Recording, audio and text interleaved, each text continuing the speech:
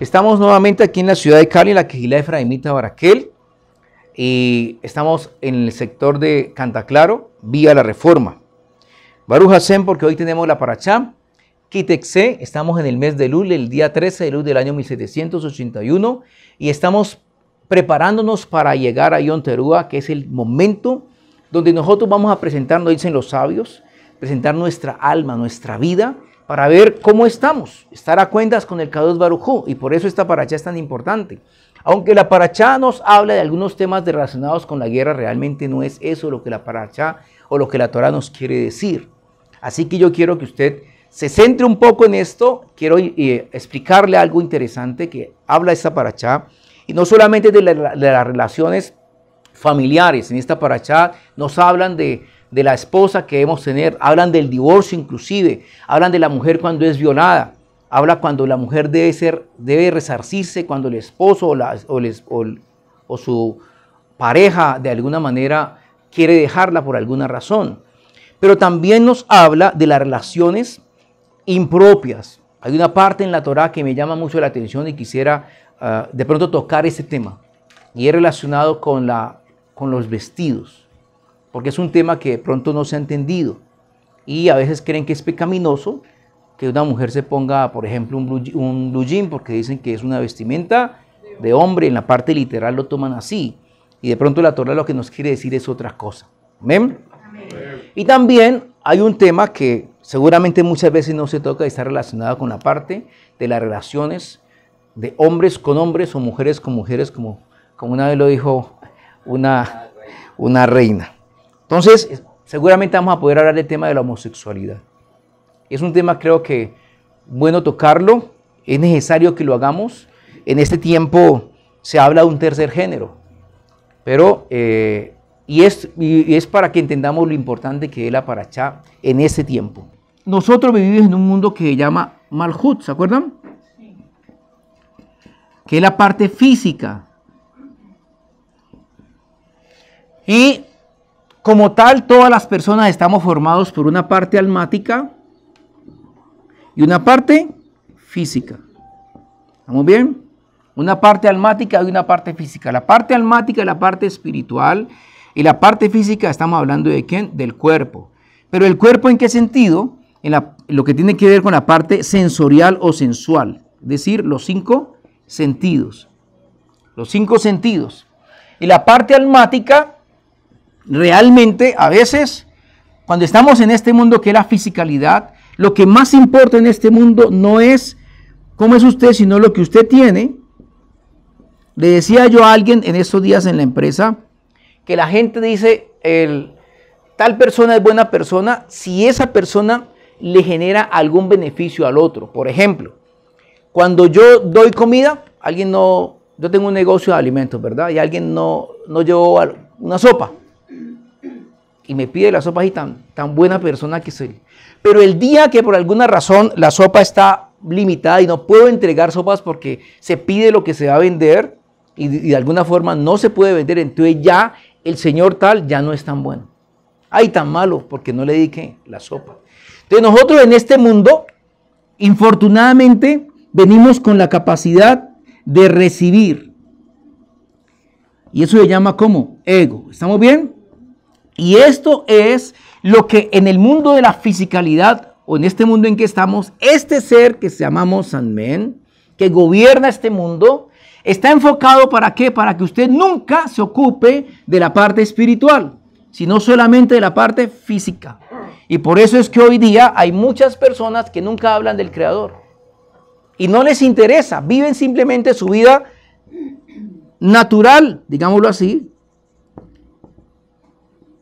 ¿Basados en qué? En un proyecto de vida. Entonces todo el mundo que se capacita, va a la, universidad, tiene una profesión y después de allí pues se compran algunos elementos que le dan bienestar. Casa, carro y beca. Y de esa manera la gente cree que cumplió con todo. Infortunadamente no es así.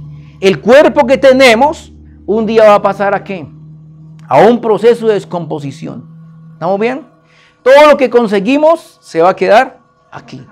Y la parte almática tampoco se va a dañar. Esta parte va a, a, qué? a pasar a un mundo hacia arriba que es donde decimos está donde el creador. Y ese es el gran problema o la gran realidad para la cual la gente no se prepara, porque este ser que aparece aquí no está interesado en que las personas que nacen en este mundo se preocupen por buscar del Creador. ¿Está claro hasta ahí? Entonces, teniendo en cuenta esto, por eso está para allá, que es Kitexe, cuando salgas, nos está hablando de los temas relacionados del contexto en el cual nosotros vivimos para que aprendamos a corregir aquellos desniveles o aquellas imperfecciones que tengamos en nuestra relación con el Creador y nuestra manera de vivir. Entonces la paracha de hoy arranca hablándonos acerca de un tema muy interesante que para algunos que lo leen de manera literal seguramente no va a ser muy llamativo. Concretamente, antes de referirme al tema de la homosexualidad, que es el punto clave que quiero tocar hoy, yo quiero que entendamos un poquito por qué es, importante esto. La primera cosa es que el creador, el propósito de toda la creación es que el Kadosh Barujú, Hashem, digámoslo así, quiere, perdonen la expresión, cohabitar con usted. El propósito del Creador es hacer alianza con usted para que usted en este mundo de la fisicalidad, manejada por un ser que ya hablamos, usted pueda realmente sobreponerse a esa realidad que usted vive. Hay mucha gente que dice, yo nací estrellado. Tengo este o tengo otro problema, tengo esta situación y infortunadamente encontramos aquí gente buena que le va muy mal y a gente mala que le va muy bien. Y entonces eh, la, consecuencia o la razón de por qué está dada simplemente porque en este mundo de la fisicalidad nosotros venimos a cumplir con una tarea que en la Torah se llama tikkun. ¿Estamos bien? Es una tarea y esa tarea de todas las personas quieran buscar del creador o no quieran buscar del creador implica, escúchenme bien, restaurar una parte del ser que es la parte almática que nosotros en la Torah lo llamamos She Neshama. ¿Estamos bien? ¿Qué es la Neshama? Ahora vamos a explicar una parte del alma que es muy importante y la que realmente el Creador quiere que usted aprenda a qué? A restaurar. ¿Estamos bien? Cuando usted oye hablar de Yeshua, Yeshua decía que no hagamos tesoros aquí que se pueden corroer, sino que hagamos tesoros ¿dónde? allá en los cielos. Amén. Entonces, el propósito de, la creación es justamente que nosotros en este mundo podamos restaurar aquellos, aquel destino que nos tocó, Hasbe Salón, y podamos sobreponernos a los eventos que nos corresponden. Amén. Entonces, en ese sentido, la Torah no es un libro de historia. La Torah que es un código que nos permite a nosotros, digámoslo así, restaurar el destino que me tocó. En hebreo se llama maxalto, el maxal. Para los griegos, el cuerpo se divide en qué? El hombre se divide en cuerpo en tres partes: cuerpo, alma, y el espíritu. En otras palabras, es tripartito. Pero de acuerdo a la Torah, y no solamente la Torah, inclusive en muchas en muchas culturas, como las egipcias, por ejemplo, los fenicios, el alma es más que eso. De acuerdo a la Torah, la parte espiritual, el alma está dividida en cinco partes. Ese es el alma y está dividido aquí. La parte del nefesh es realmente la energía, digámoslo así, o la esencia animal. Y esta está guiada por quién? Por los instintos. ¿Estamos entendiendo esto? ¿Cómo lo comprendemos mejor? Cuando una persona está en estado de coma. Su ser no está ahí. Ustedes han visto experiencias de gente que dice, no, yo salí del cuerpo. Y yo veía cómo me... Pero el cuerpo queda qué? Respirando. Está en un estado que es automático. Respira, la sangre fluye, y eso es lo que se llama que el nefes, lo que hace que el alma funcione, que el cuerpo tenga vida, digamos así, esté funcionando en su parte parasimpática. Y esta alma se encarga de ella que en los instintos. Luego viene la parte de qué? Del rúa. Y la parte del rúa es la parte emocional. Bueno, en hebreo es rúa, pero esto es, digamos, la parte que espíritu. ¿Estamos bien? Créanme que aquí dice espíritu, tengan fe. Muy bien, Baruja Hombre de fe. Entonces, rúa es la parte que emocional. Entonces, ¿qué es la parte emocional? La parte de los deseos. ¿Y la parte de qué? Del placer. ¿Están entendiendo hasta allí? Entonces, cuando usted ve a un animal, ¿se acuerdan? Podemos entender esta parte de aquí del nefes con los animales. La gente hoy día ama más los animales que a las personas. Y hay, y hay parejas que prefieren tener un animal que a una persona. Porque es difícil crear una persona, pero un animal no. Y cuando, el anima, cuando ellos ven que llega un animal y los, y los reciben en la casa y le mueven la colita, eso es algo maravilloso porque eso le genera qué? Afecto, le retribuye un afecto. Escúchame bien, el animal le retribuye una carencia que no tienen. Por eso es que la persona se apega al animal. Pero el animal no lo ve así. El animal no dice, ay, viene cansado de trabajar. ¿Qué es lo que la gente piensa? Porque humanizan al qué? Al animal. El animal obra instintivamente. Él, no hay ningún animal que usted tenga que usted no lo cambie en su carácter, digámoslo así, por si me permiten el término, si usted le da comida. Puede ser el perro más fuerte, más, más bravo, pero usted empieza de a poquito a ganarse la confianza, dándole comida de a poco. Un día ese perro lo va a ver, va a ver qué, diferente. Y un día, ¿qué va a hacer? Le va a mover qué? La cola. Y un día se va a acercar a usted usted va a ver que usted es cariñoso y dice, ay, tan, tan, ese perro, tan lindo. Y no, el perro está pensando simplemente instintivamente, este es el que me da qué? Comida. ¿Estamos bien? Pero la gente humaniza a los perros y hasta le pone nombre de persona, lo cual es un error garrafal. Y los perros son, por decir algo, lo dijimos en la paracha pasada, es un animal que no es. ¿Estamos bien? Entonces la parte del rúa, que es la parte emocional, son los deseos y son qué? Los placeres. Eh, gracias, varón. Dame un poco de música. Y luego viene la parte de qué? De la neshama. Y esta parte de la Nechama realmente son es la voluntad y es los pensamientos. En otras palabras, esta es la parte que interesante. Cuando nosotros dormimos, nos acostamos a dormir, el alma debe ir a recargarse. Recuerda que hemos explicado siempre, una persona puede aguantar hambre. Y hay ayunos que hay días, de 40 días. Yeshua hizo ayuno de 40 días. Moshe hizo ayuno de qué? 40 días, 40 noches. ¿Y cuánto lo hizo? Dos y hasta tres veces. En el monte del Sinai. Pero una persona, y también inclusive puede dejar de tomar líquido por un buen tiempo. Pero nunca podrá dejar de qué? De dormir. Y recuerden lo que una vez les expliqué acerca de los experimentos que hacían los rusos con la gente que no, no le dejaban dormir le aplicaban eh, droga para que no durmieran. Y cuando estaba, era un, una, una, un, experimento que hicieron y lo filmaban cada momento, cuando iban cuatro días, cinco días, diez días, está en YouTube inclusive.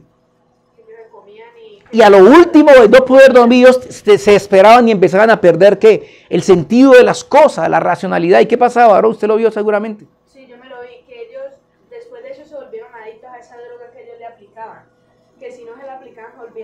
Se comían y se veía. Que ellos los brazos demacrados, todo eso, y usted lo verá, eso feísimo. Porque el alma necesita descansar. Y usted puede trabajar, y lo digo por experiencia propia, usted puede trabajar mucho. Llega un momento en los microsueños, recuerdan, donde usted quiere. Hay gente que se pone palillos en los ojos para no dormir y resulta que usted se duerme con los ojos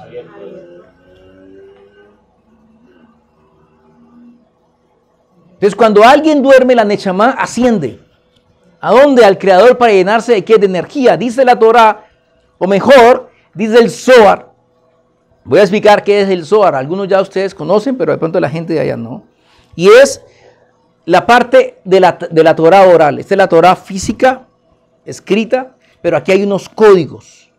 Y esos códigos son los que aparecen en el libro del Zohar. Lo que yo estoy explicando aquí es lo que dice el Zohar. Amén.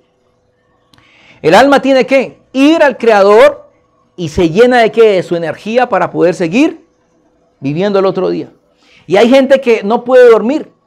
Lo explicamos también creo en la paracha pasada. y no pueden dormir, llegan, duermen, se acuestan, pero se levantan más cansados porque no pudieron ascender, porque los méritos, lo que hicieron el día anterior, no les permitió poder subir porque se encuentran con infinidad de dificultades y con seres que no les permiten ascender. Esta Neshama es la que hay que rescatar. Esta Neshama es la que va a quién, la que hace parte de quién? Del Creador. Es la que hace parte de quién? De Adán. ¿Estamos bien? Nosotros somos parte de quién? Del alma de quién? De Adán. Y vinimos todos, toda la humanidad vino a qué? A restaurar el alma de Adán. Pero hay muchas simientes que no hacen parte de ese proceso. ¿Hasta ahí estamos claros? Bien. Y hay dos partes, estas son las partes, escúcheme bien, que hacen parte de la de la parte interior del ser. Y hay una parte exógena, una parte externa, que es Hayá y Yehida. Esta parte es, lo que llaman la parte circundante. ¿Qué es la parte circundante? La que está por encima del nivel nuestro. ¿Estamos bien? O sea que esta parte es la que hace parte, digámoslo así, la que está relacionada con el K2. Esta parte no somos conscientes de ella, pero existe. ¿Tiene alguna pregunta hasta allí? Entonces, las personas funcionamos o funcionan mejor como un carruaje. Voy a hacer un carruaje, por favor, no se vayan a reír. Pero digamos que aquí ese es el carruaje que está llevado. Entonces, digamos que este es el carruaje. ¿Estamos bien? Ah, bueno, aquí le dice cosas que no deben de ir, mm, pero más o menos. Yo creo que era, antes era así. Y aquí va unos caballos. Yo no soy bueno para dibujar caballos, pero hagan de cuenta que aquí va un caballo. Y aquí va otro caballo, es que no va uno, van varios caballos. ¿Estamos bien? Y esos caballos van guiados por quién? Por el cochero. Y dentro del cochero va también el quién? El pasajero. ¿Está claro hasta ahí? Es muy bien. Toda varón desde las mías. Les explico esto porque es un poco abstracto. Esos son caballos, ese es el cochero, ese es el coche y ese es el pasajero. ¿Cómo es, cómo funciona el alma humana? ¿O cómo funciona la persona de acuerdo a la Torah? De acuerdo al alma que hemos explicado ahorita, los caballos son la nefes, que se mueve, son la fuerza de los instintos. Estoy hablando ¿Qué son los instintos? Los cinco sentidos, ¿estamos bien? Lo que mueve, lo que lo mueve a usted son qué? La parte instintiva. Cuando usted pasa algo, lo, va, está, preocupado por su vida, está en un momento de, digámoslo así, de, que está peligro su, su, vida como tal, perdón que lo, lo tome, usted reacciona. Y a veces hace cosas que eran impensadas. ¿Lo mueve qué? El instinto. Hay gente que se mueve de manera que instintiva, vive de manera instintiva. Este es el cuerpo. El cuerpo es como el coche, simplemente va de acuerdo a lo que hacen qué? Los instintos, no tiene capacidad de reacción, no tiene capacidad de decisión. Pero el cochero es el rúa, ¿Y qué es el Rúa? La parte que emocional. ¿Y qué es la parte emocional? Como yo me siento. ¿Están entendiendo ahí? Que son los placeres. ¿Y qué más? Y los deseos. muchas personas viven su vida solamente de cómo me siento. Y toman decisiones dependiendo de cómo me siento. Y estas personas, la mayoría de las personas de, esta, de, de este mundo, de esta sociedad, viven así. Pero hay una parte interna que es quien? El pasajero. Y este es la Neshama. Este es el que conoce el destino. Si alguien lo tiene. Alguien, por favor, ayúdame con Bereshit capítulo 13, 13. ¿Por qué? Porque vamos a hablar, bendito sea el vino, que así como hay personas que viven como viven, olvidándose solamente por la fisicalidad, viven solamente pensando en tener, en solamente 23, 18. ¿Alguien me ayuda con el celular?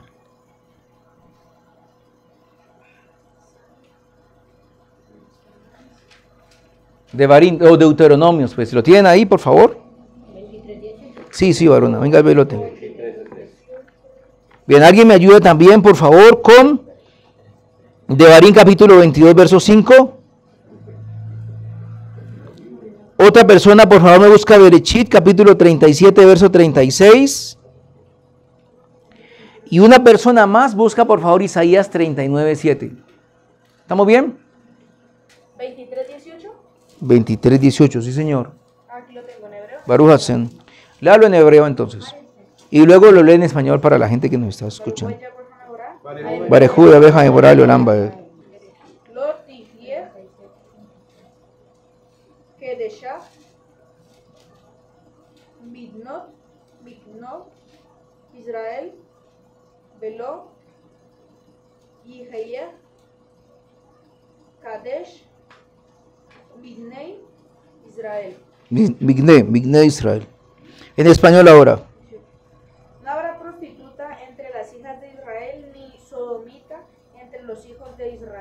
Hashem.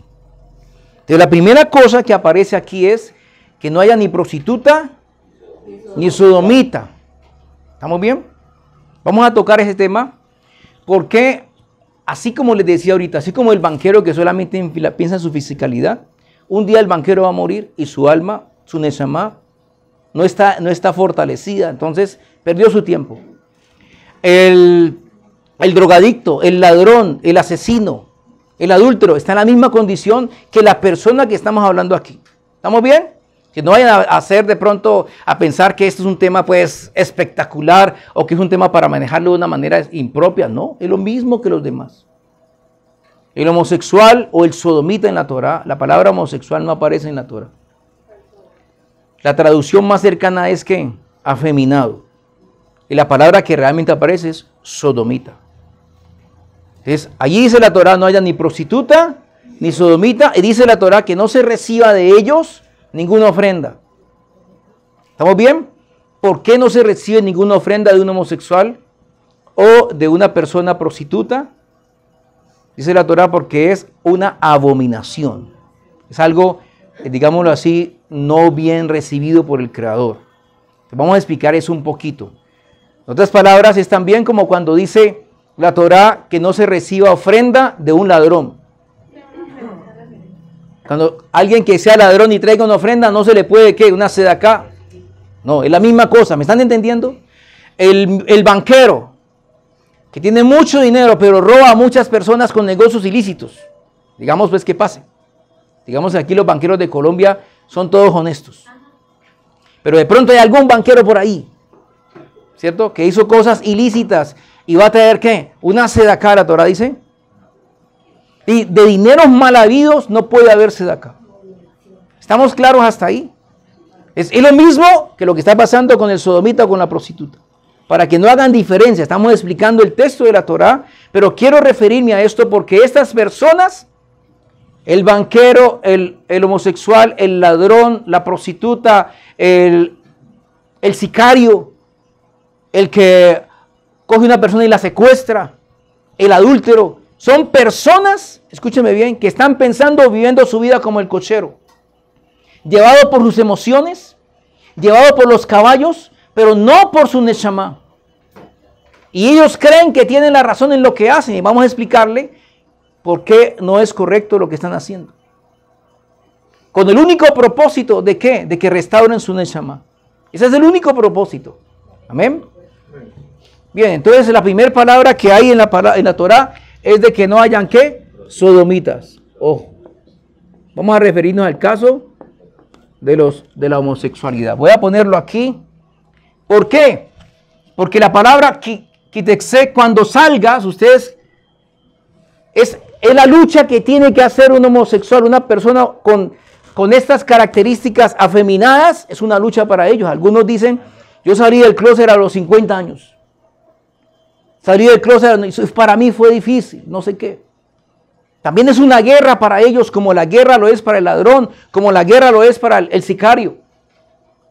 Dicen la gente que cuando un sicario mata a otra persona, lo primero no, lo hacen con. O cuando alguien va a robar a otro, no está tranquilo, sino que también tiene que miedo, sienten adrenalina por lo que está haciendo. O sea que cuando salga la guerra, se aplica también para el sodomita.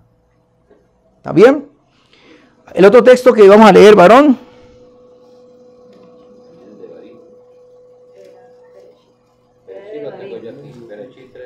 Berechit 13:13, que es la primera vez que aparece este texto en la Torah. Dice, eran los habitantes de Sedón o Sodoma malos y pecadores ante Yahweh en muy alto grado. Y el verso 19.5 también ahí de Berechit. De, capítulo 19. Sí, 19.5 de una vez, por favor. Dice así.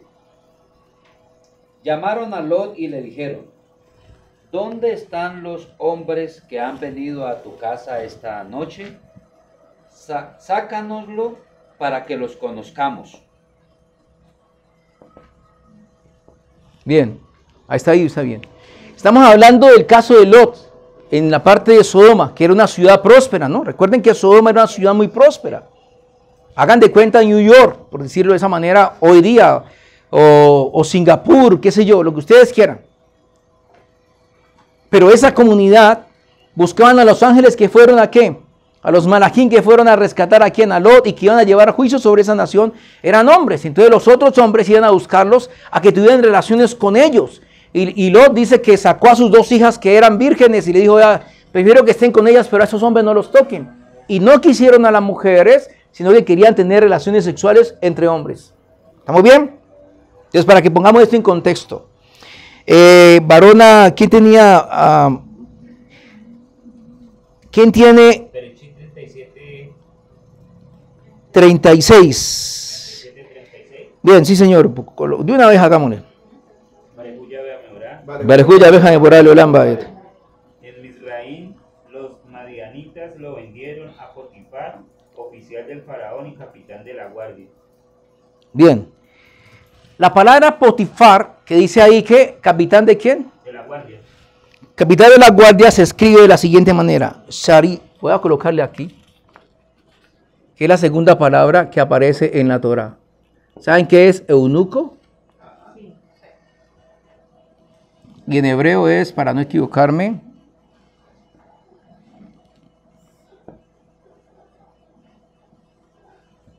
así se escribe. ¿Cómo se lee eso? A ver, los que...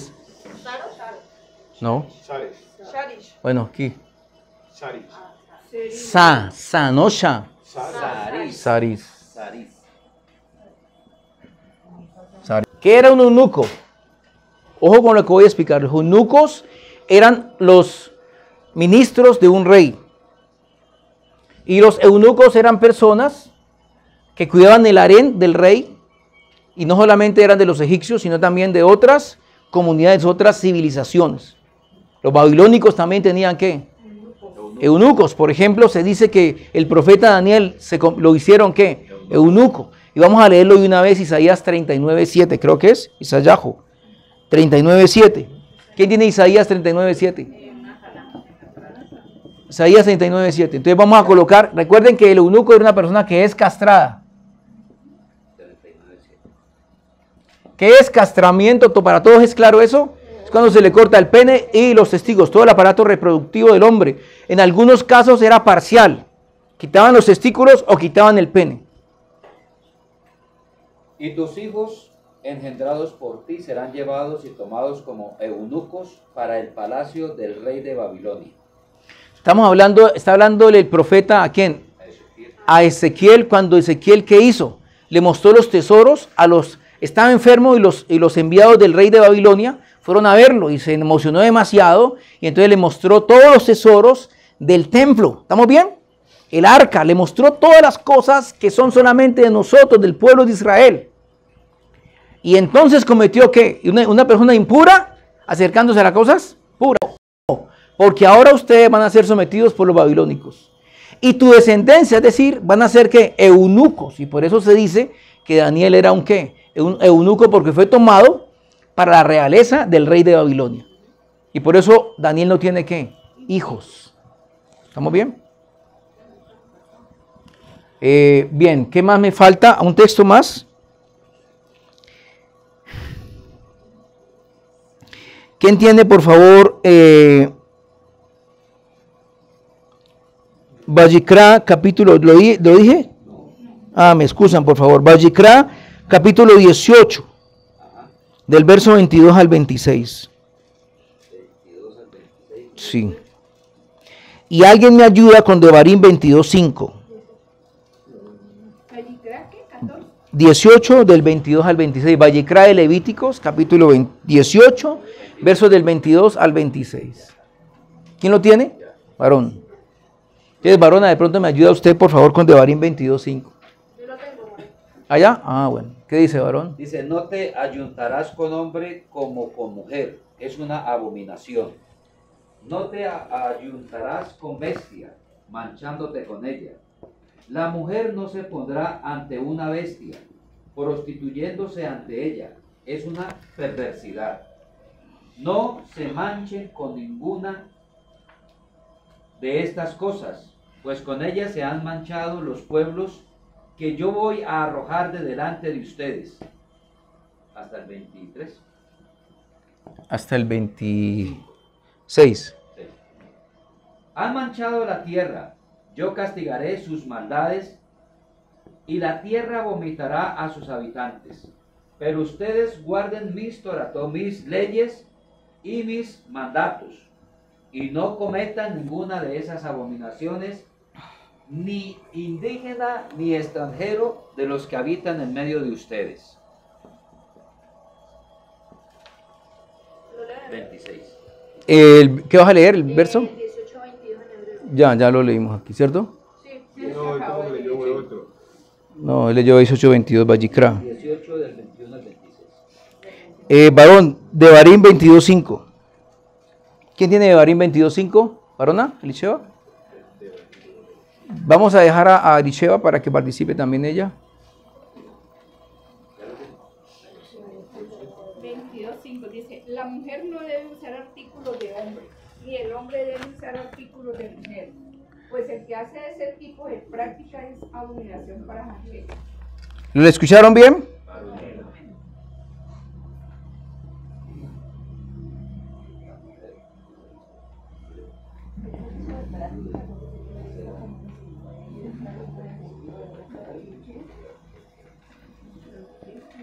Esta es la palabra que se utiliza en hebreo, lebush, y que es vestido y se refiere, escuchen bien,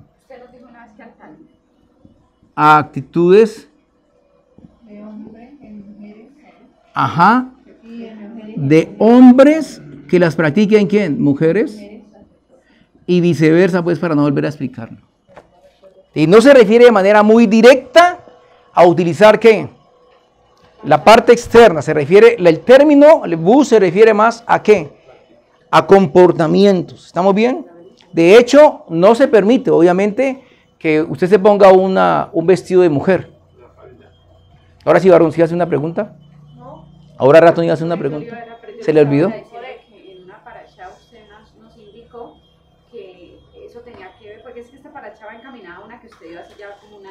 Sí, sí, Baruch Hashem. Sí. talí era una prenda Masculina. masculina y que era algo sagrado, pero nos dijo que había una hija, pero no recuerdo de quién era, que usaba talí. Y- Era, ajá, de un rabino. de un rabino eso. Pero entonces usted nos indicó que, que a eso hacía referencia, ¿no? Colocárselo, por lo menos si que kipa, que talir, que los... Una mujer en la Torah no usa qué, sixi. Una mujer en la Torah no usa qué, talet. Una, un hombre no, no utiliza qué, un manto para cubrirse la cabeza. ¿Por qué tiene que el hombre cumplir el hombre? Correcto, son roles completamente diferentes. ¿Estamos bien? Entonces, recuerden, la mujer es una y el hombre es otro. Ambos, escuchen bien lo que voy a decir, ambos se complementan. El uno necesita del otro.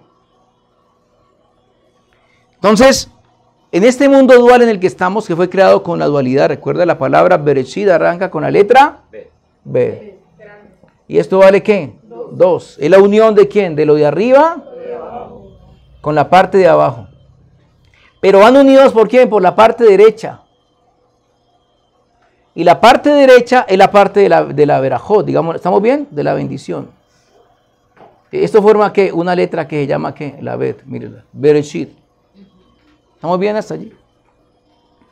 Ese mundo es dual. Y recuerden siempre que en este mundo dual hay un positivo y hay un negativo. Para que coexista y para que el creador haga parte de él, debe haber esos dos, esos dos polos, esas dos columnas. En, la- en el arca, por ejemplo, hay dos querubín. Uno es femenino y otro es qué? Masculino. Y ellos se unen en sus, en sus puntas. Es una interpretación en su momento para ese texto de la paracha, pero los, querub, los querubín eran dos seres, uno positivo y uno negativo, uno masculino y otro femenino, y el creador hablaba a través de ellos. ¿Estamos bien? En el espacio que generaban sus alas extendidas. Por eso en esta Eres hay luz y hay oscuridad. Eso ya lo hemos explicado muchas veces. Cuando las parejas buscan a su alma gemela, a su alma hermana, es su contrario. Entonces, cuando un hombre busca, tiene que buscar que una mujer para que puedan darse ese complemento.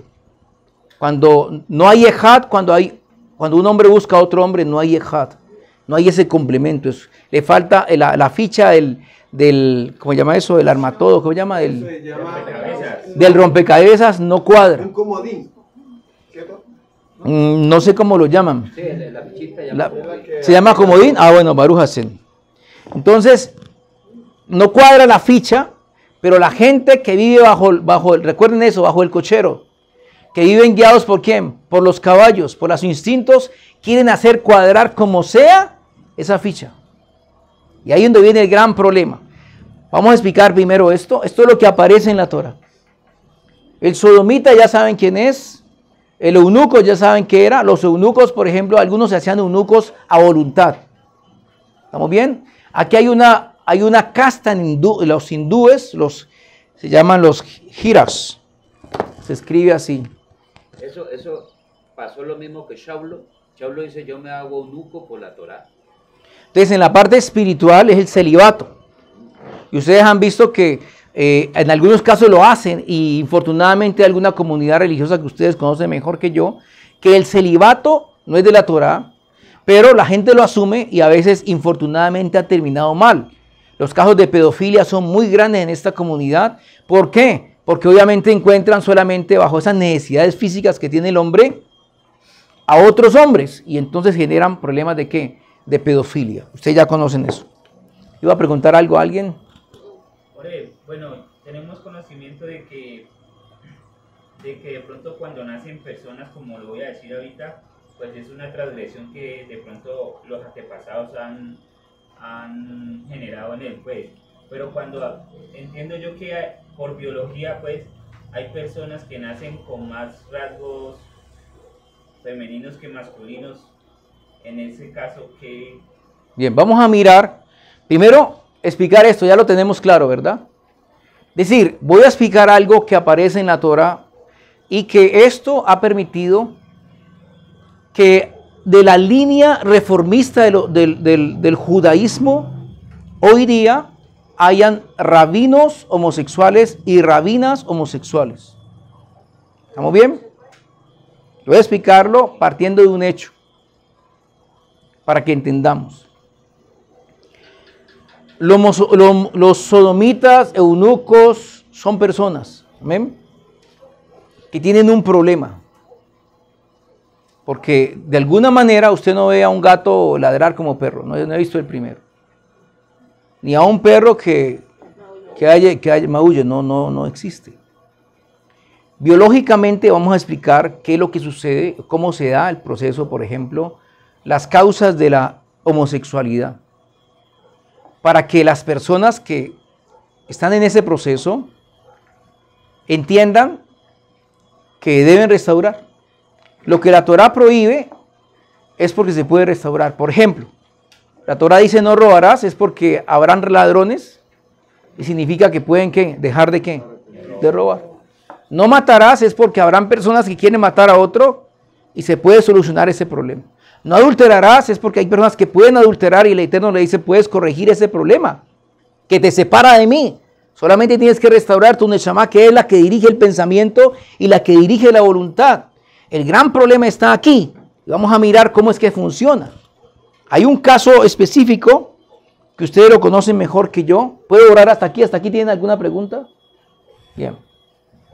Hay un caso específico que son los hemafroditas, er, perdón, ¿cómo es? Hemafrodita. ¿Mm? Hemafrodita. Que son las personas, escuchen bien, que biológicamente, es decir, físicamente,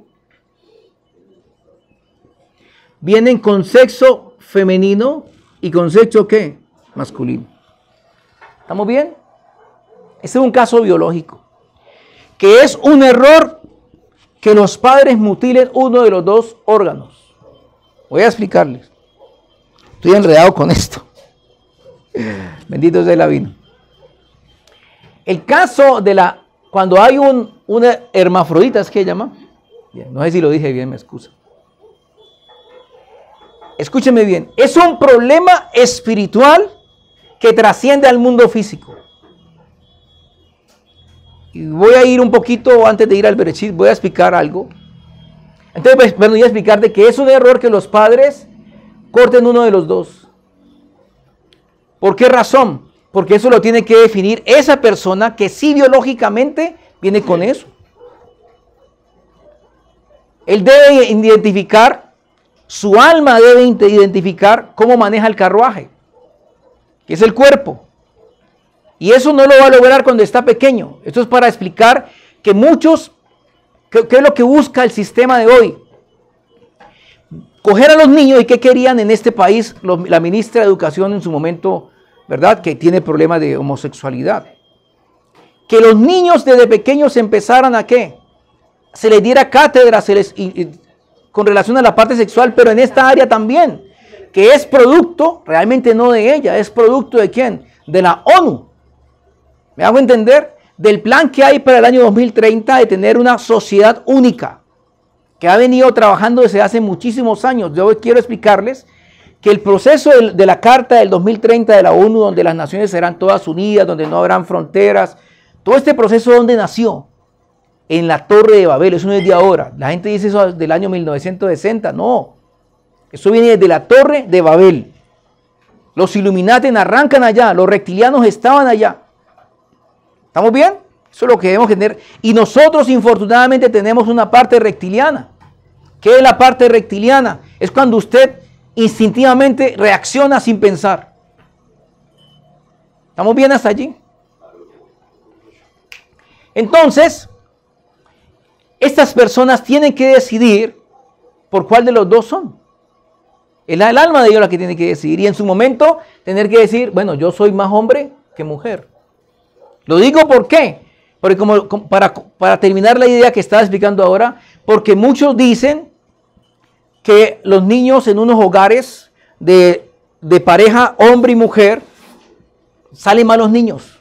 Ese era el argumento de los homosexuales y de las mujeres y hombres que quieren, homosexuales que quieren tener, adoptar hijos. Y la gente dice, no, pero es que tiene que haber un hombre y una mujer. No, pero es que nosotros hemos visto que hay ladrones, que hay sicarios, que nacen de qué? De hogares de hombres y mujeres. ¿Se acuerdan de eso? Que eso es como una de las, de las, de las, eh, perdón, de las, de los fundamentos que ellos esbozan para, para sustentar su actividad o su deseo de adopción. Y no es así. Mira, aquí hay un caso de hermafrodita y la hermafrodita nunca se queda con los dos, porque siempre se desarrolla un órgano más que el otro. Estamos hablando de la parte que de la vagina y del pene. ¿Estamos bien? Aquí ellos no, aquí la hermafrodita no es sodomita. No, no es sodomita, simplemente estamos explicando de que tiene dos sexos, pero él todavía no sabe si es mujer o es hombre. Y eso solamente lo va a lograr más o menos cuando pasa de los 13 años, recuerden. Tengo una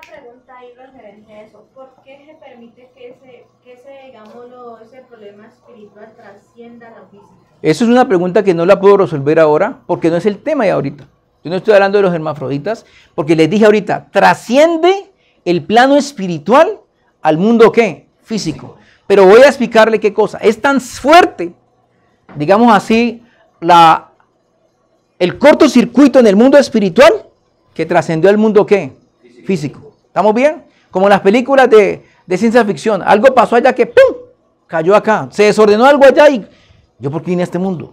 ¿Estamos bien? Digámoslo que de esa manera para que me comprenda. ¿Qué había en el gran Edén? ¿Cómo era la primera creación? En el, en el gran Edén, ¿qué había? Dice la Torah que él creó a quién? Varón y hembra Adán. Perdón, en el Bereshit capítulo 1 fue creado macho, y hembra. ustedes ya lo saben, ¿verdad? Y hembra. Pero estos dos estaban pegados. ¿Estamos bien? ¿Y esto cómo se llama? El término biológico, Arona, ¿cómo es? ¿Hermafrodita? No. No, no, no. Una cosa de ahorita que tenga dos sexos, pero esto eran dos seres diferentes pero pegados. No, o sea, a veces no es. Desde el inicio, cuando A ver, a ver, recuerden la palabra, el término. Ah,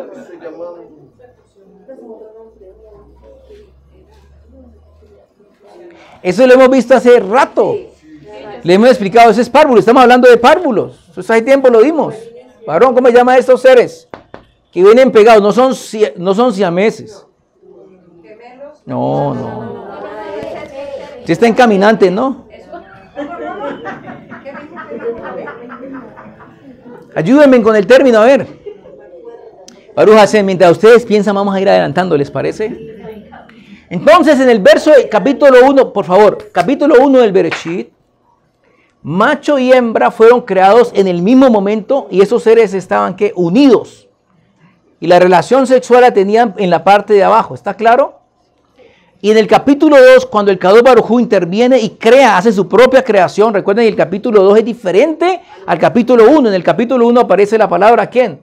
Elohim, ¿verdad? Pero en el capítulo 2 aparece Adonai, Yahweh. exacto, Adonai Elohim.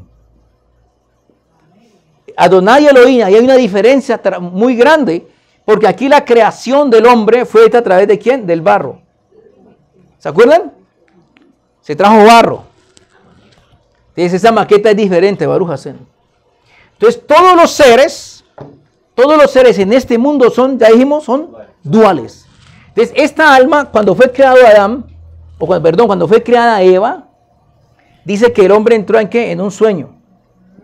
Y entonces fue que separado. No, y la parada fue, y la fue separado de quién? Del costado. ¿Sí se acuerdan? ¿Qué realmente en la Torah costado el lomo? Es decir, estaban pegados aquí. Cuando Adán se movía, nunca se veía. ¿Estamos bien? Pero la parte femenina de Adán no estaba qué? Activa como tal. Y entonces hubo que, exacto, entonces hubo que ¿qué? separarla. Y lo hemos explicado mil veces. Usted coge un niño pequeño, tres añitos, y una niña de tres añitos de espalda, y usted no sabe cuál es hombre y cuál es mujer. Cuando van creciendo, ya la pubertad, la adolescencia, entonces ya se ensanchan las caderas de la mujer. Es decir, son diferentes unos de otros. Y la parte almática es igual. El alma es que es positiva y también es que negativa, pero ¿dónde? Allá arriba. Andrógeno es la palabra. Eso, Baruch. Un aplauso para el varón, hizo la tarea.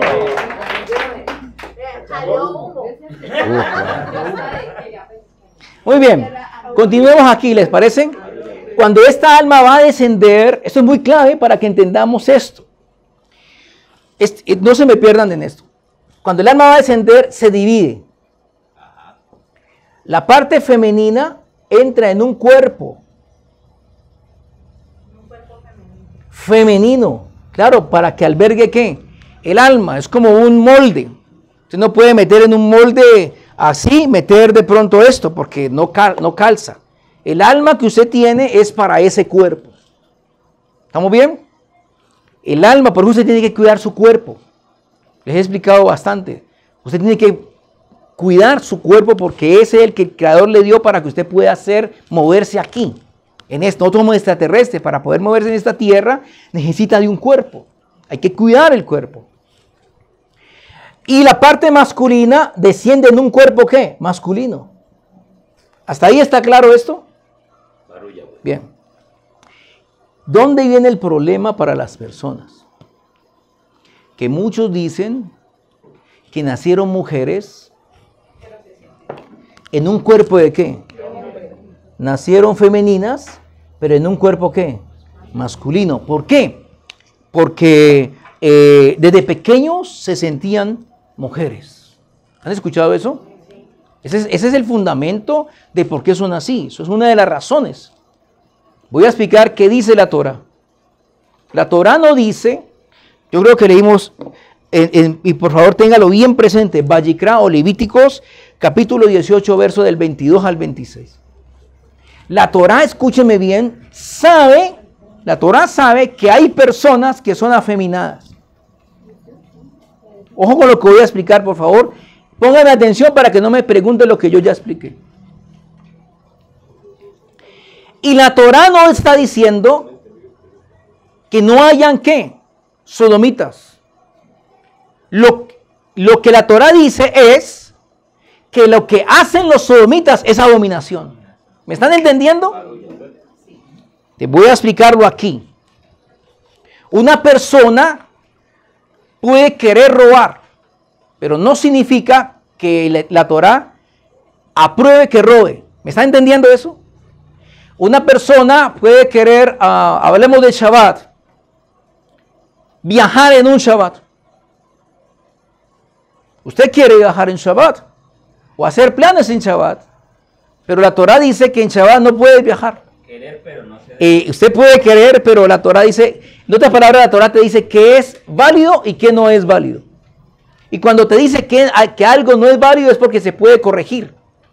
En otras palabras, dije, dije que nosotros, las almas vienen con un propósito, con un ticún, con una tarea. ¿Estamos bien? Las almas vienen con una tarea. Me estoy refiriendo a lo que la Torah dice en este caso. Y hay personas que nacen en un cuerpo, Voy a hablar de un ejemplo de una mujer. Un cuerpo femenino. Ella es femenina, es una mujer. Es decir, el problema de la homosexualidad no está en el cuerpo. ¿Estamos bien? El problema de la homosexualidad no está en el cuerpo. El cuerpo de una mujer es de una. ¿Tiene qué? Pechos o senos. Tiene útero. Tiene óvulos. Tiene vagina. Perdón, eh, ovarios obviamente sus óvulos, y tiene qué? Su vagina. Entonces el problema, ustedes no, no han visto, no he visto pues una mujer lesbiana que diga, yo me volví hombre porque es que no, no tengo útero, no tengo vagina, sino que tengo un pene. No, son mujeres. ¿Estamos bien? Ni he visto un hombre que diga, yo me volví mujer porque es que, mira, nací con senos. No me refiero a los que muchas veces le da por la piedrilla del hombre, ¿cierto? Sino que, ah, digamos lo mejor, eh, tengo varios. No tengo gónadas, no tengo testículos, sino que tengo varios. No hizo el primero. Si usted conoce a alguien, por favor dígame, porque no lo he encontrado. Que he encontrado en la National Geographic a una mujer que tiene información genética de hombre, pero ella es qué? Mujer. No puede tener hijos porque genéticamente no los da, no sé, no crece y es y tiene todas las facciones varoniles. ¿No lo han visto? Todas las facciones varoniles. Es, usted es un hombre, pero ella es una qué? Mujer, porque tiene útero, pero está pequeñito. Tiene ovarios, pero ojos nunca, se, nunca crecieron. Y con siendo que tiene caracteres de hombre, ella es femenina. ¿Me están entendiendo? Eso para responder un poquito a la gente que dice, no, es que yo me siento mujer en un cuerpo de hombre. Y no lo digo, lo digo con respeto.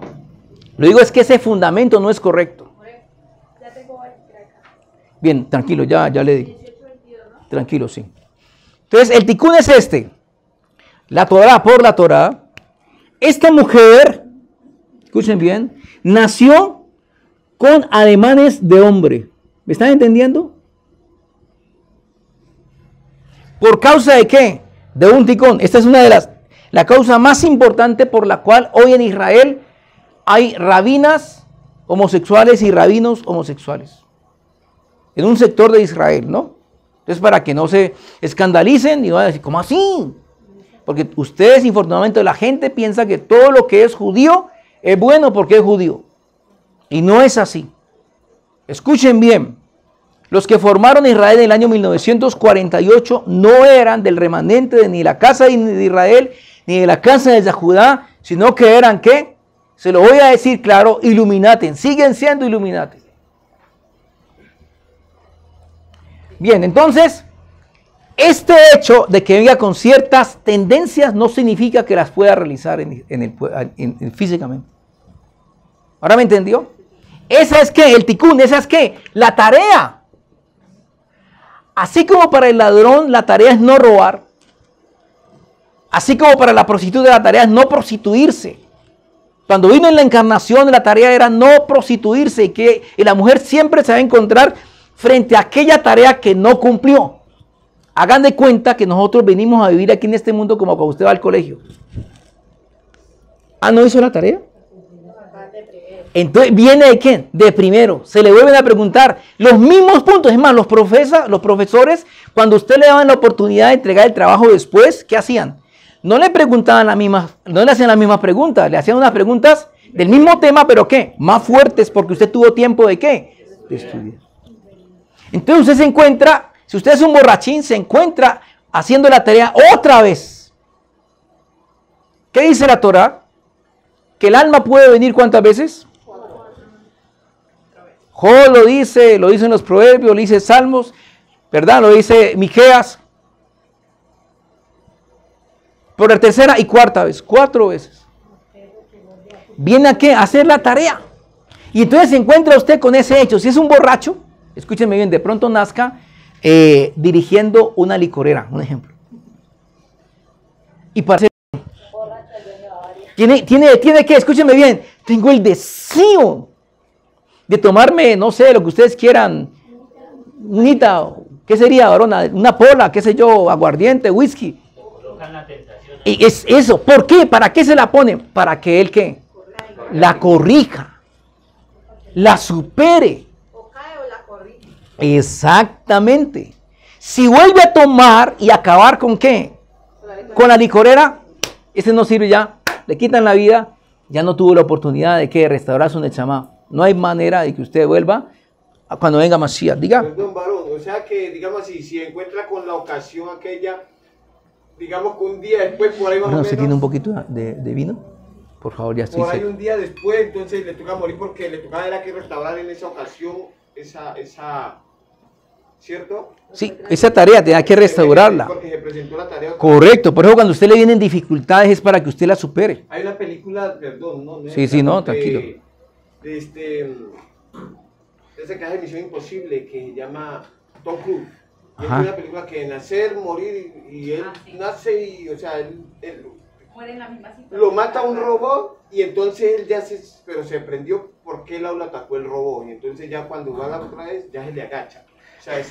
Pero, pero al adelantico lo mata por otra cosa. Siempre.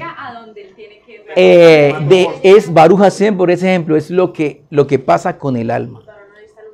¿Estamos bien? Varón, usted está uno, ah, ok. No, es que oraron por mí ahora. Baruch Hashem. Baruch ya lo que no me oran por el prija café. Sí, señora. Es como el perro que vuelve a su vómito, ¿no? ¿Sí? ¿Me están entendiendo? Como esta persona no tiene Torah, de pronto usted conoce alguna en su familia o en su sector donde usted viva. Yo, por ejemplo, conozco una de mi familia. Entonces, esta persona, ¿qué pasa? Se deja llevar por quién?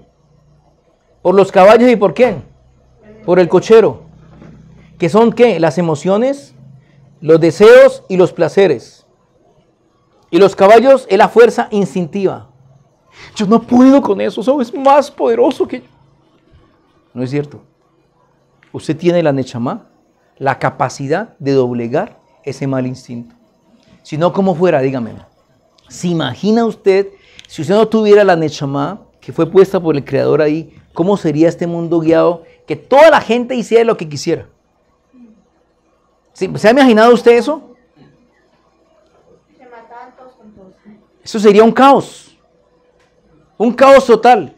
Y la sociedad no existiría. Existirían los más fuertes que matarían los someterían a los otros. Sería una aberración, ¿sí o no? Entonces, esto es lo que pasa y esto y es, esta es la razón por la cual está el fundamento en Israel de que hay homosexuales en Israel. Pero eso solamente por una comunidad que es la reformista. ¿Estamos bien? Entonces, esta es una de las razones por las cuales las personas se hacen ¿qué? homosexuales. La segunda razón es, escuchen bien, por una carencia espiritual.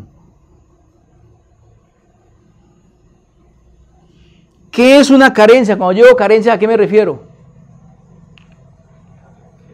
Falta, falta. Mm, Voy a ponerlo aquí para que me entiendan más. Una carencia almática.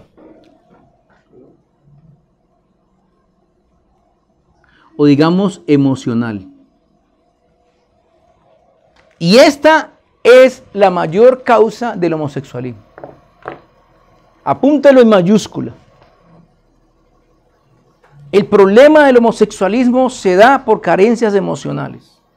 Y voy a explicar una por una. ¿Puedo borrar acá?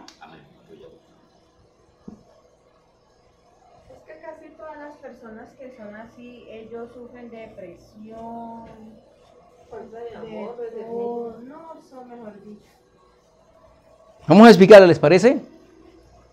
Una de ellas es porque en el momento de la concepción, y esto es muy importante, lo he explicado en otras oportunidades, en el momento de la concepción es clave lo que voy a explicar.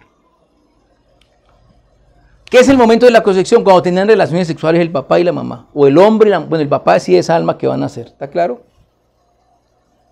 La parte de la concepción es clave por muchas cosas. Aquí muchos elementos que no se pueden olvidar. La primera es cuál era el deseo que había en el padre y en la madre. Dice, ¿qué estaban sintiendo? Como miedo. La primera es sentir. ¿Qué estaban pensando? ¿Qué estaban sintiendo? ¿Estaban queriendo tener un hijo o no? ¿O solamente estaban pensando en tener una relación sexual porque les cogió la tarde, los cogieron sin condones, está el momento apropiado, etcétera, y ¡pum! Y de pronto quedó en embarazo. Ahí había que. ¿Cuál era? Esa es la primera cosa. Por lo cual arranca una carencia almática. Número dos. Escuche bien esta. ¿Cuál era la posición que tenía la mujer en la relación. en, perdón, varón, la posición de la mujer cuando concibió? ¿Qué es concibió cuando tuvo orgasmo? En el, en el- en en el libro de Bajikra, varón, por favor, en la Parashat Tasria, la vimos la vez pasada, capítulo 25, verso 1, si no estoy mal. Eh, eso está en, en capítulo 25, verso 1 y 2. Arranca diciendo lo siguiente, cuando la mujer concibiere, dará a luz un hijo. ¿Se acuerdan? Bueno, está allí, tranquilo, ya lo dije. ¿Estamos bien? Escuchen bien esto. Cuando la mujer dice, la, la, ustedes- la Torah dice cuándo van a ser un niño y cuándo van a ser una niña. Antes de poner a pagar a los ginecólogos y una cantidad de dinero, y la Torah dice. La Torah dice que cuando la mujer tenga orgasmo primero y luego el hombre en su relación sexual tenga él después de ella el orgasmo, nacerá qué? Un niño. Y lo hemos explicado eso ya está documentado. Shetel, ¿se acuerda de Shetel? En el año 1964 estableció y eh, fue y buscó en un, en un laboratorio si eso era cierto o no lo que la Torah decía, él siendo judío. Y ustedes saben que el, el cromosoma de la mujer es qué? X. Y son grandes. Pero el del hombre es qué? Es Y, ¿cierto? Cromosoma número 23. En la relación sexual se unen esos dos cromosomas para formar una de 46, donde él toma uno de estos. Entonces dice el, el- proceso que cuando la mujer llega, estos bajan de primeros. pero por la alcalinidad de la vagina, el pH de la vagina, que es alcalino, los mata. ¿Está claro? Entonces, cuando ella llega de primero, nace un varón, ¿por qué? Porque entra después el, orgasmo, el, semen del, del, hombre, y entonces ya este, esta cavidad vaginal ya no está alcalina, ya pasa sin problema. Y por eso nace qué? Varón. Bien, explicado esto, hay que mirar qué posición tenía la mujer en el momento de ella llegar al orgasmo. Si la mujer está encima del hombre, si la mujer está encima del hombre, dice la, dicen los cabalistas, no lo digo yo, que si el alma al ir a llegar de primeras, ¿qué va a tener? Un niño, ¿sí o no? O un varón. Pero al estar ella encima del varón, ese niño puede nacer con tendencias afeminadas. Porque ella está por encima, es decir, está manejando la situación, si me hago entender. Siendo cabeza en ese momento. Por eso es que la posición del misionero es la más usada por muchas personas. No estoy enseñándoles aquí, ni estoy diciendo que usted en adelante tiene que tener solamente la posición de misionero por una relación sexual. No estoy diciendo eso. Estoy diciendo que en el momento, estoy explicando por qué causas hay carencias emocionales en las almas que vienen y que son qué? Emocionales. ¿Qué me iba a decir, varona? Pero prácticamente, o sea, que no para traer un hijo bien a, este, a estar en, digámoslo así, que estar en la posición del misionero. Es una conclusión suya. ¿Estamos bien? No, porque... bien, sigamos. Dice la Torah, no, no es cierto, no es cierto, pero no quiero llegar a, ese, punto con usted. Quiero explicar esto, que es lo que me interesa. No voy a explicar aquí las posiciones de las parejas, ¿ok?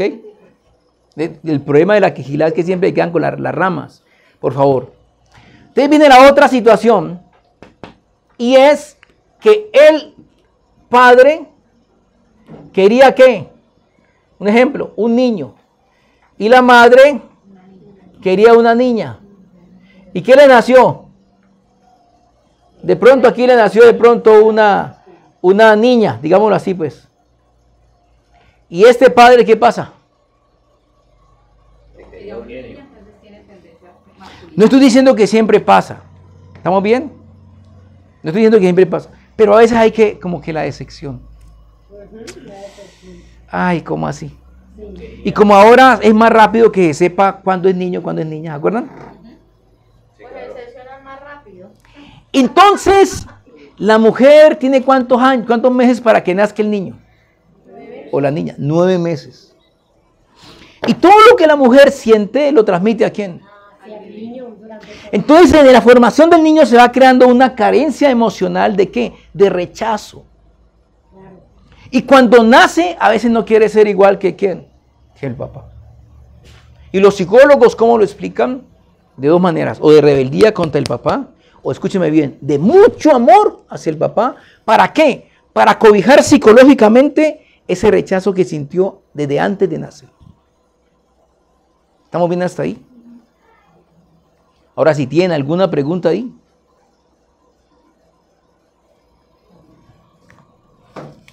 Digo que me estoy extendiendo mucho, creo, ¿cierto?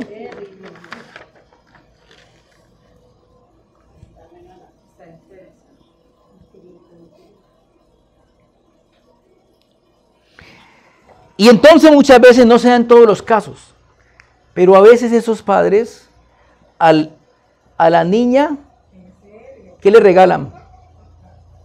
Pelota de hombre. Un carrito. ¿No han visto eso a veces? No. Hay veces que a la niña y la pueden hacer que, voy a ser exagerado para que entiendan el concepto. Si el papá quería tener un niño, ¿qué hace uno de papá a veces? Si a uno le gusta el fútbol, quiere que el niño juegue ¿qué? fútbol. Si le gusta la natación, quiere que su hijo sea como, digámoslo así, como uno proyectarse en el Hasbel Salón por eso. Y entonces ves a la niña le ponen cosas de qué? De niño. Y empieza a crearse, a formarse bajo, ¿qué? bajo un ambiente que no es el correcto. Un contexto que no corresponde. Por eso es que usted es así. no, no, no, no, no. Que es la parte interesante, que es una mujer fuerte, porque la, pusieron desde pequeña a- a la enfrentar a muchas situaciones que estaba muy biche para esas responsabilidades que tenía. Situación, digo yo, supo superar eso. por ejemplo. Pero, pero la verdad es que había Pero mire cierto resentimiento con su papá, eso no lo puede negar. Un día cuando estaba, ma- cuando estaba pues eh, en la niñez, un día yo sí pensaba que me gustaban las niñas. Ahí viene la otra parte, bendito sea la vino. Un aplauso para ahora, por fin se iluminó. Ya era hora, ya era hora, ya era hora. ¿Entendimos esta parte, verdad? Resulta que esas carencias, hay otro problema antes de explicar eso, y es cuando viene por causas externas que se llaman ¿qué? Violaciones. Resulta que al niño, desde pequeño, de pronto vivió en un contexto donde el tío, el- dicen los, los familiares más cercanos, había alguno que era pervertido. Y empezó a qué? A manosear al niño, palabras más, palabras menos. Ustedes comprenden lo que quiero decir, ¿verdad? Y ese niño de pronto por, por miedo, porque siempre les imponen miedo, no lo voy a decir porque si no. Entonces ese niño empezó a acceder a ese tipo de situaciones. Escúcheme bien, cuando está qué? Pequeño. Y eso queda qué? Marcada qué? El alma, lo vimos en la paracha pasada. Y a veces terminan los niños, no digo que todos, pero la gran mayoría de homosexuales, muchos, muchos han tenido a veces problemas de eso. Carencias emocionales de los padres, rechazo de los padres, no te quiero, hay padres que son pues ya mucho más directos, nunca te quise, largate o no sirves para nada, Salón eso. Se sienten rechazados como hijos. Entonces, no quiero ser la imagen de quién, de mi mamá. No quiero ser la imagen de quién, de mi papá. Entonces rechazo a todo aquel. Si yo soy hombre, Hasbe Salón, quiero rechazar a mi papá. Si soy mujer, Hasbe Salón, quiero rechazar a quién, a mi mamá. Si soy mujer, entonces me quiero presentar como quién? Como un hombre. Porque el hombre es más fuerte, más independiente. Entonces me quiero sentir no débil, sino fuerte. Entonces asumo roles que no son míos. Y eso afecta a la Nechama. Y eso hace que la gente esté pensando en otras cosas, menos en su relación con el Creador. Y por eso viven como viven y se vuelven lo que no son. Y por eso la Torah dice, no es permitido que estas personas tengan esos actos. Porque los pueden, ¿qué? Corregir. Porque el problema no es del cuerpo. El cuerpo está bien, el carro está bien. El problema es del conductor. Se tiró el cuerpo porque no supo qué manejar. Pregunta. No, por era algo relacionado con lo que usted dice de las mujeres y de los hombres, ¿cierto? Mire que uno, pues yo he visto, a mí me gusta ver deporte y todo eso, ¿cierto? Entonces yo miro en YouTube y hay mujeres que son, ellas se entrenan, y son mujeres musculosas, parecen hasta hombres, pero las mujeres en sí de- salen de eso y son normales, unas mujeres femeninas. Ejemplo. Las, ajá, las tocan, ¡ay, me dolió! Así. Entonces uno dice, uy, pero una mujer... Tiernas, lo que son. Ajá. Usted lo puede ver, por ejemplo, en los olímpicos. ¿Han visto? Las nadadoras. Parecen más hombres. Parece más hombre. No que quiera un hombre. Yo vi- Hombre, no era una mujer. Era una mujer. Más que todas las asiáticas. Lo- Las asiáticas con mayor razón. Pero estas que, que, que los de la, esas mujeres que pelean en la UFC. Ah, sí, también. Ajá. Pero es que ahí hay, por lo menos la brasileña dicen que tiene una mujer. Pero yo no sé. Entonces, sí, es una lesbiana entonces, ¿listo? Es una mujer homosexual. ¿Ok? Muy bien. ¿Hasta ahí vamos bien? ¿Eso lo entendimos de la violación? Claro, sí. Entonces, eso genera que problemas en, las, en el alma. Escuchen bien, no en el cuerpo. ¿En dónde? En el alma. Y le generan un, un cortocircuito emocional. Eso se llama una carencia. Y por eso es que hay mucho homosexual y mucha lesbiana. Pero hay algo más. ¿Usted quiere saber dónde nace el problema?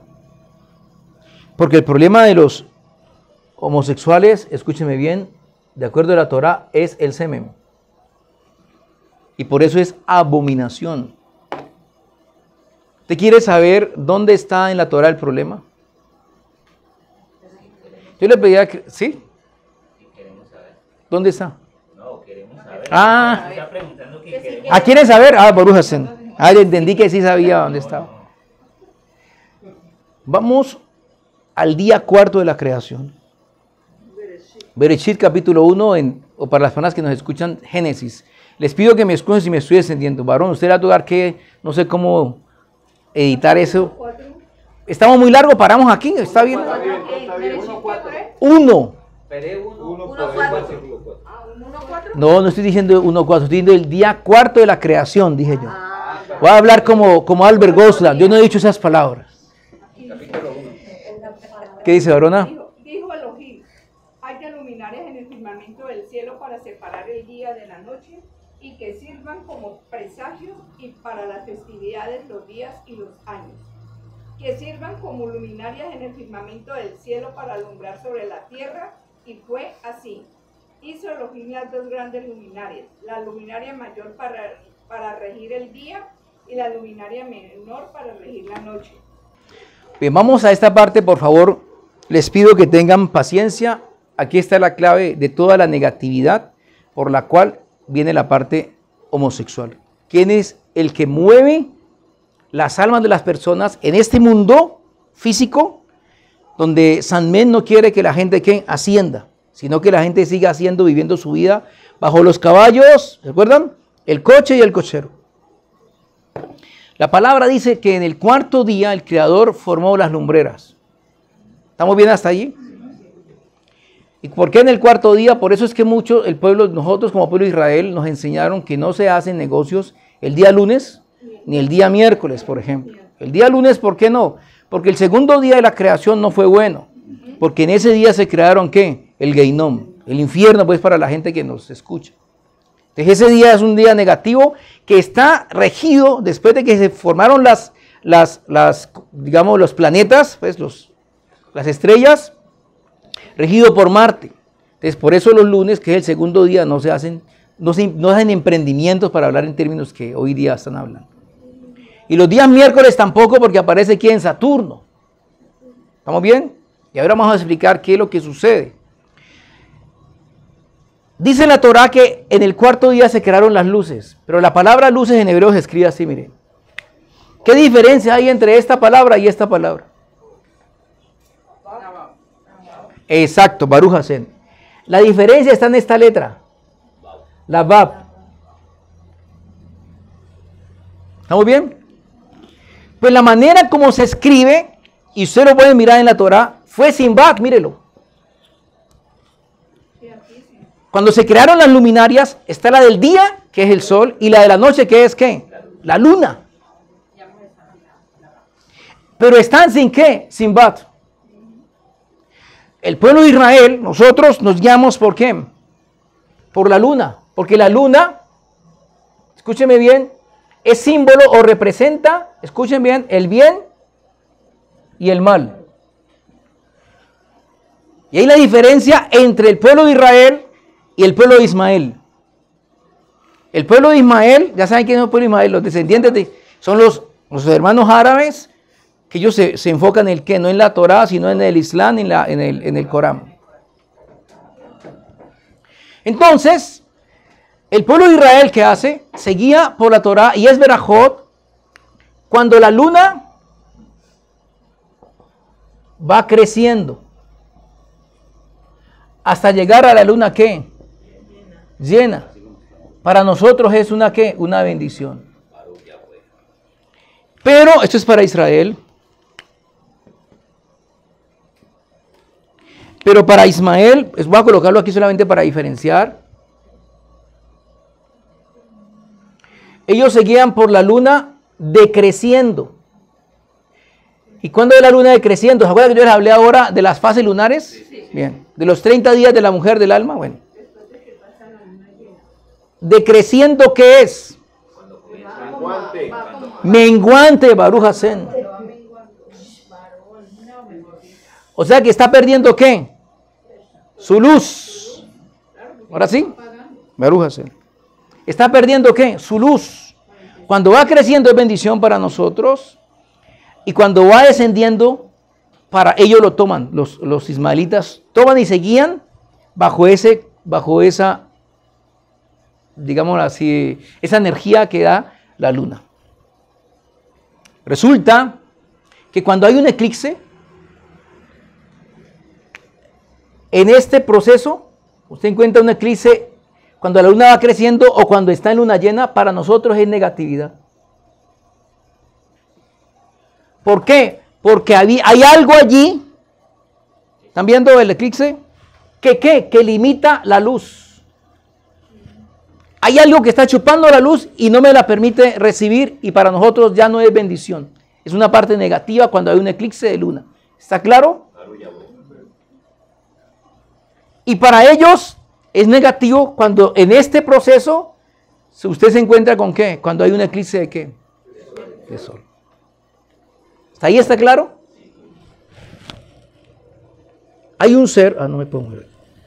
Hay un ser que fue creado cuando la luna desciende. ¿Cómo se llama?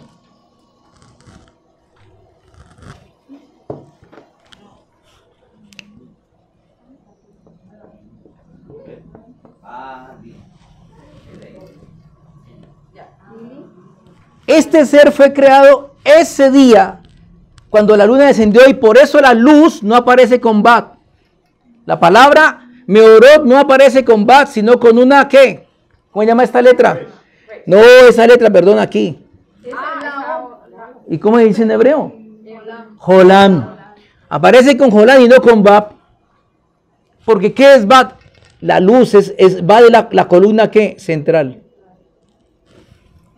que trae la luz de arriba hacia abajo. Y este ser se alimenta, tiene sed y se alimenta de qué? De la energía de la luz. ¿Y de la energía de qué? Del ser del hombre.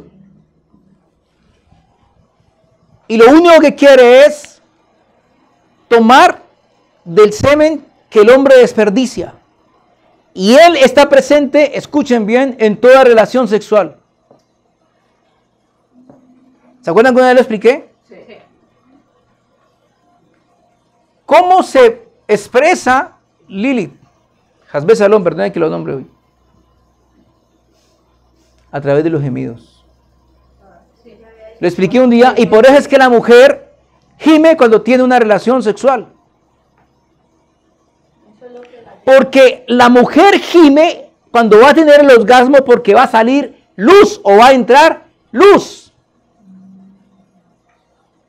Y al hombre la mayor, la mayor potencia, la mayor éxtasis sexual es cuando va a tener su orgasmo. Porque va a salir la energía de su propio ser. Y esa es la razón por la cual las carencias espirituales se dan en el momento de la concepción. ¿Me entendieron ahora? Y eso genera niñas lesbianas o niños homosexuales. Porque en, de trasfondo de eso está este ser queriendo tomar qué? El semen que bota el hombre.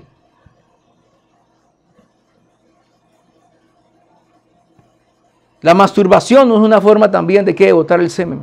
El onanismo, que era cuando el hombre el coito interrumpido es botar qué? El semen. ¿Quién alimenta eso? El hombre y por eso es que hay homosexuales en esta tierra. ¿Estamos bien? Entonces, esta paracha dice que no hay, y por esa razón dice la Torah, ya no sé que aprendimos para, para, para recapitular, bueno, no sé decir, recapitular, barujas. Me excusan, saben que nunca pude decir la palabra. Lo he intentado. Para resumir. Para resumir. ¿Qué hemos dicho? La paracha Kitexe, por favor. La paracha Kitexe, cuando salgas a la guerra, es cuando usted se levanta todos los días a luchar contra sus propios instintos negativos que lo someten o lo apartan del Creador. Estos astros que fueron establecidos en el, en el cuarto día guían y manejan este mundo, nos guste o no nos guste. Por eso es necesario restaurar nuestras condiciones. El ladrón deje de ser ladrón, porque puede dejar de hacerlo. Se ha dejado llevar por qué? Por el cochero, por su instinto. Y todos vinimos aquí a corregir los instintos, a corregir mejor, a, mejor a dominar, no corregir, sino dominar, tener control sobre ellos. Sobre las emociones tener control.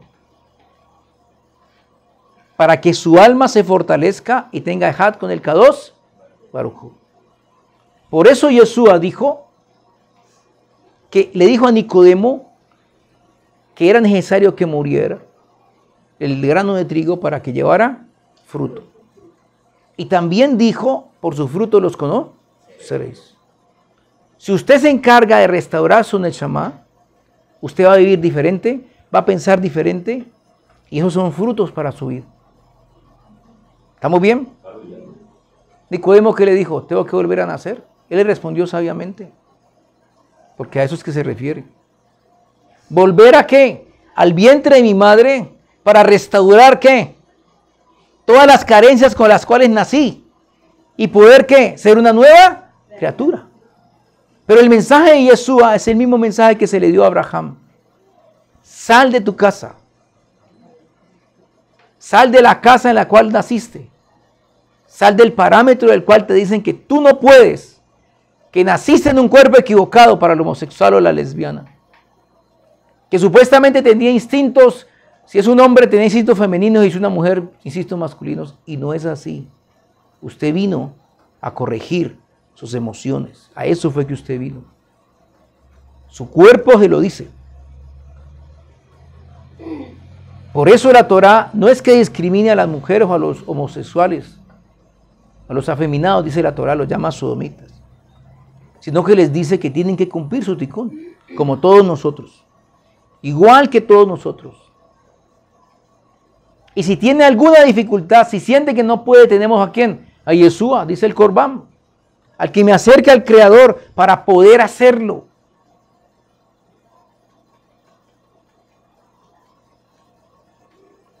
Y mi invitación hoy es que si la persona que está al otro lado o alguno de ustedes conoce una persona homosexual que crea férreamente que siendo un hombre es una mujer, usted le pueda explicar que no es correcto. Que es necesario que vaya a donde, que se devuelva a mirar ¿En dónde se generó el problema? Yo tengo un caso, se lo dije, de una persona familiar que es hombre, pero le gustan los hombres. Y con mucho respeto yo nunca le dije eso. Y él un día quería confrontar el asunto. Le dije, tú tienes un problema. Y la razón tienes que mirar dónde está el problema. Y yo estoy seguro, le dije, que tiene que ir relación con tu papá o con tu mamá. Y me dijo, no, yo a mi papá lo quiero mucho. Entonces, ¿por qué no tenés novia? Escúcheme bien. Porque él rechazaba a las mujeres. Y a veces era que duro con las mujeres. Me decía, pero ¿y por qué? Y es que lo odiaba a quién? A la mamá. Porque la mamá los dejó desde pequeños. Y cuando él quería tener el afecto de su mamá, nunca lo tuvo. Y cuando viajó de su mamá, entonces le generó que un resentimiento fuerte. Y por eso odiaba a las mujeres y entonces decidió ser qué? Homosexual. Y un día yo le dije, mire, usted tiene la oportunidad de restaurar, porque usted es un hombre, usted no es una mujer. Usted es un hombre.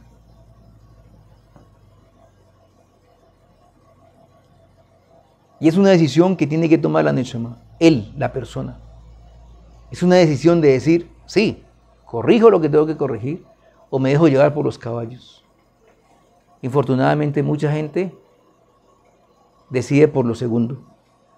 Pero mi invitación por la Torá, por el amor que el Creador le tiene a usted, al que está al otro lado, o al familiar suyo, o a la persona que usted conoce, que ha desviado el camino porque no sabe que eso es así las razones de su desviación y por qué la Torah le dice que debe corregir.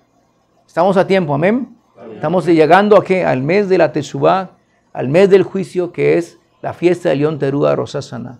La invitación es a que la gente comparte este mensaje